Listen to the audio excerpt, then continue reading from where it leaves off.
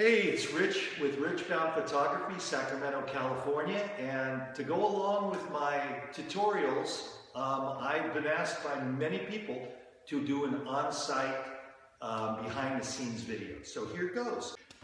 Okay, on this shot, you can see we've got a large space. I'm going to show you. I just want to show you why I'm going to put my lights where I'm going to put them.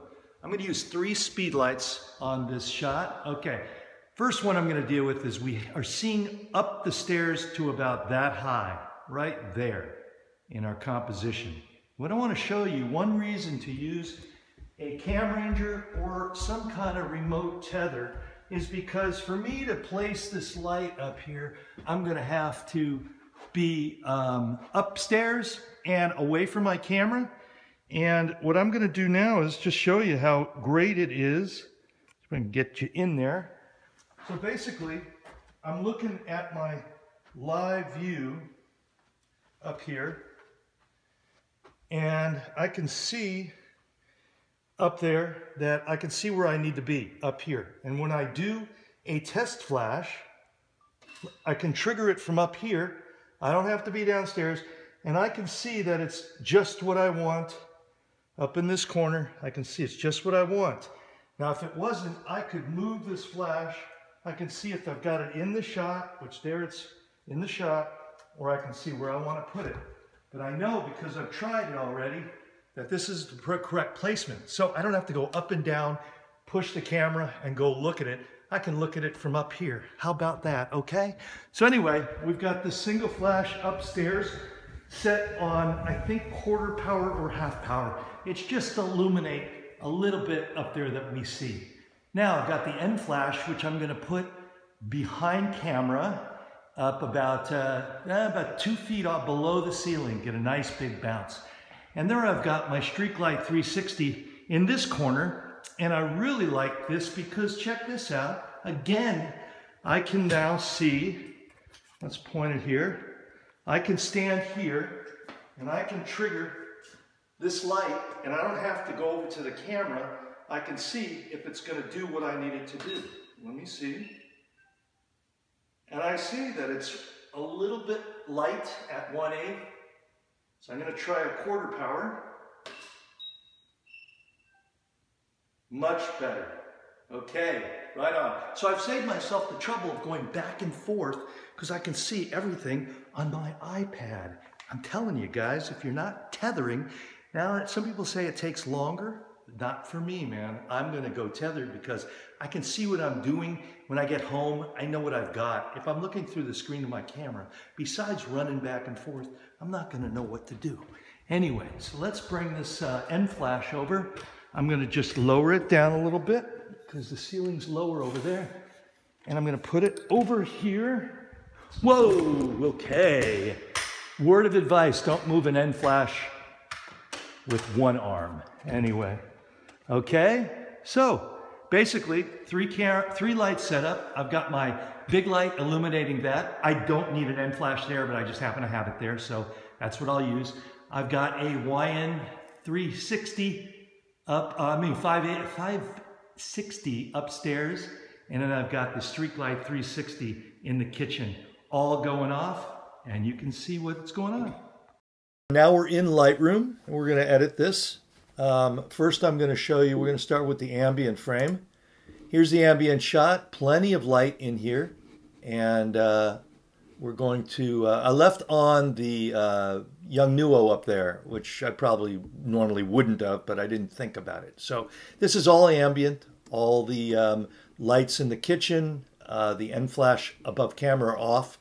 And I've got this, and it's a nice ambient shot, nice and even.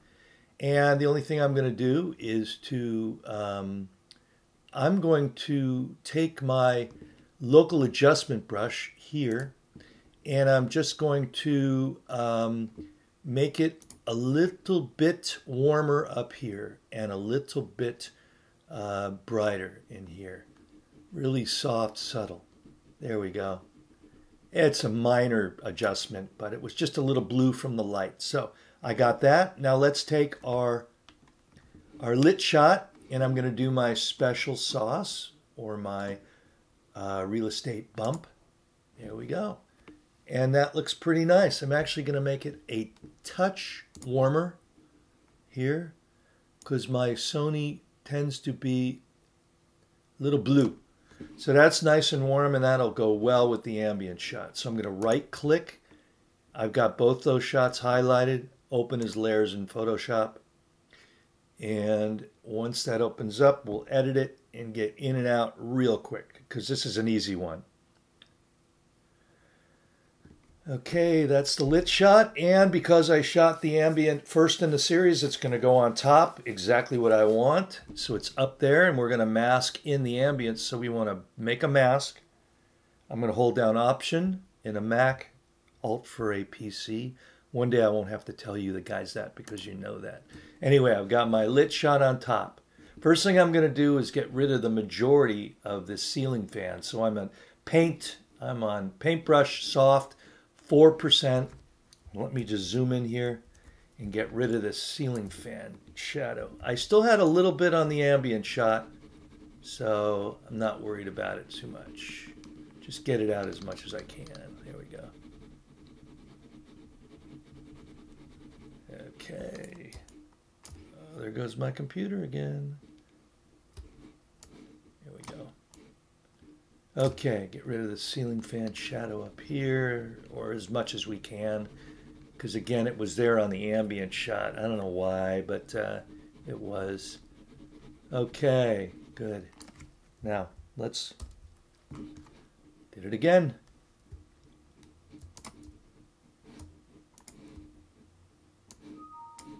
Come on. Oh, yeah, yeah.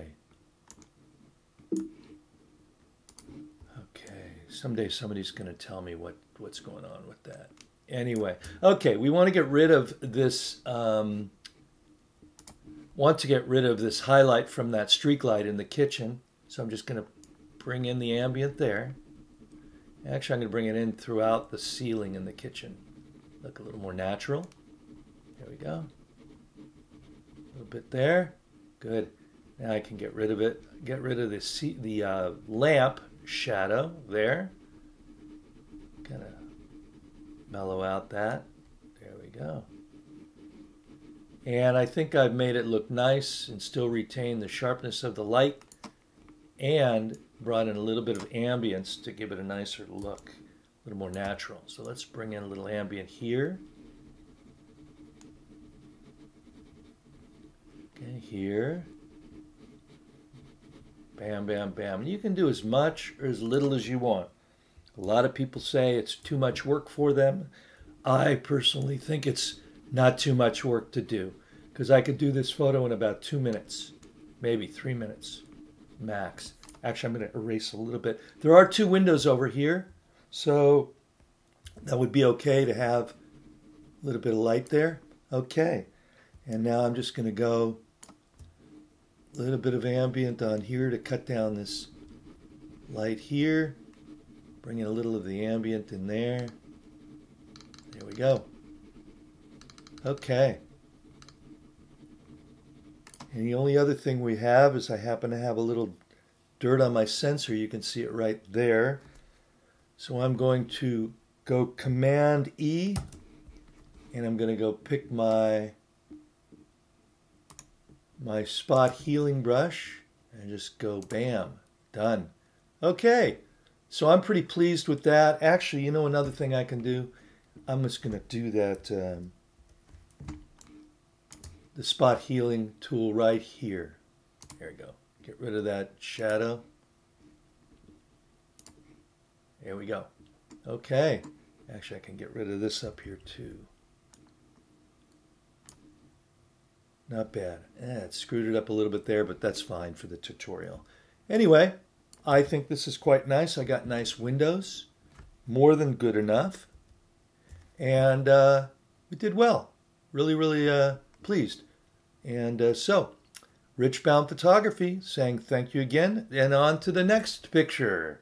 Talk to you later. I hope you're getting some good good tips from this, and I hope you're enjoying the behind the scenes video incorporated with this. So I look forward to your feedback. Um, right now, it's pretty low quality video. It's from my iPhone. I'm doing it myself, but we're going to see where this goes. and uh, take it as it comes. Talk to you later. Bye.